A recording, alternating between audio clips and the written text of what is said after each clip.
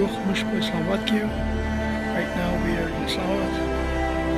The second day of Eid al-Adha. Glamorous. August 13,